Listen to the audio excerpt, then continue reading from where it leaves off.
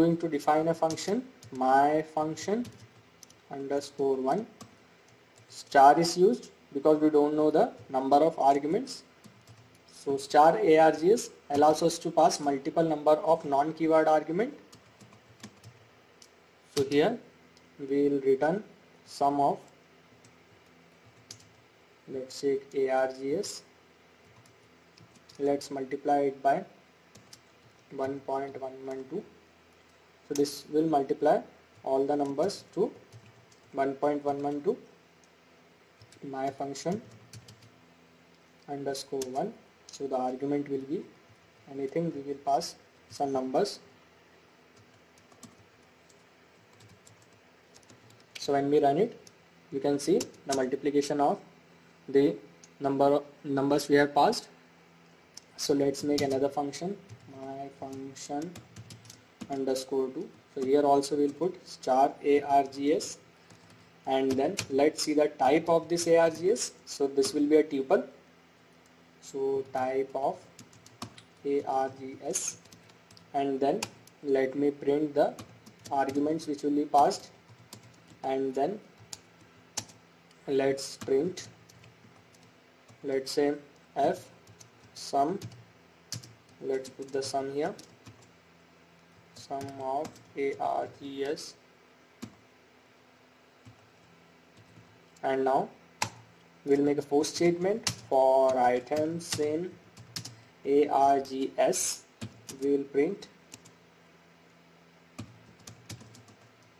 items. And let's end with a comma. Let's print the fun my function. My function underscore 2 and let's pass some numbers here also.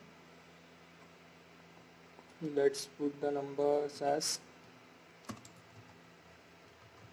21 22 67 89 99 26 so let's run it. So you can see it is not calling because I have put quotation mark over here. So let's run it.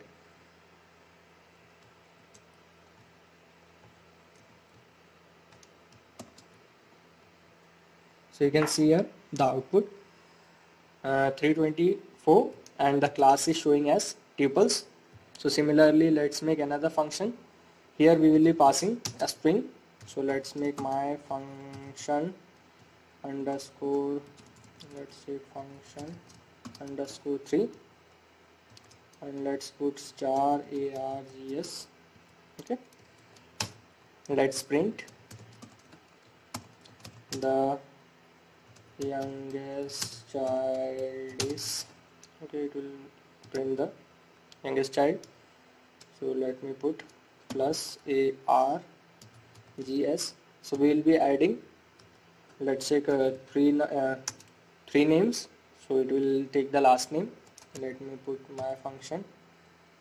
Function underscore 3 and let me put some names. Let's put John. Let's put Tony.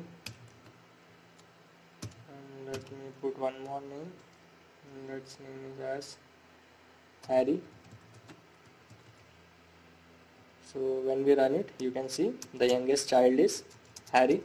So let's take some example of uh, double star a k w a r g s that is keyword arguments.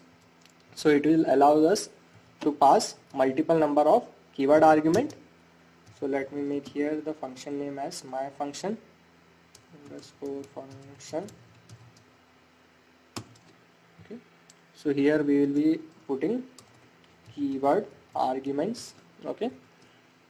So that here the type will be dictionary. So let us see by printing it.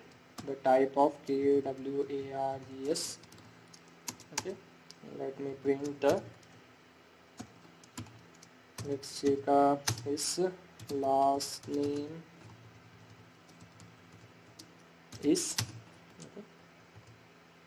and let me put here KWARGS and let's put last name. So it will fetch from the key last name. So we'll put uh, the key in the when we call the function let me call my function. And let's put the first uh, key as first name. F name equals John. And let's put the last name and let's put the value as Rick so you can see it is printing the last name. So similarly let me make another function. Mm, let me make my function underscore 4 okay. So here also we'll pass. Here we'll pass both. Let's check args and uh, char kwargs both it will take non-keyword as well as keyword. So let us print the args and let's print the keyword also. And then let me print a string. Let's take it as I would like to have. Let me put the args okay. One so it will take the argument from the position 1 and then let's put me let me put the keyword arguments. Okay let's take from the key food. Okay. So now you can see we have the uh, function. So let's call it function underscore 4 so here we have to put both.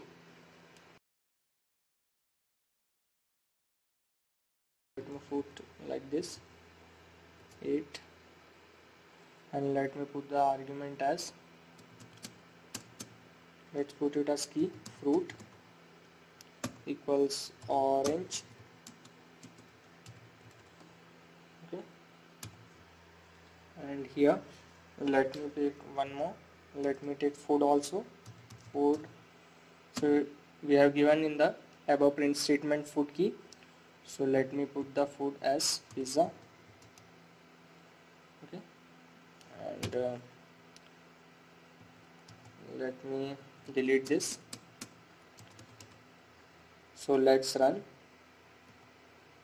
So you, can see here it is printing. I would like to have six pizzas. So it has taken the argument 6 from here because we have given the argument 1 here. So it has taken it from the position 1 and it has taken the food key here and it has printed pizza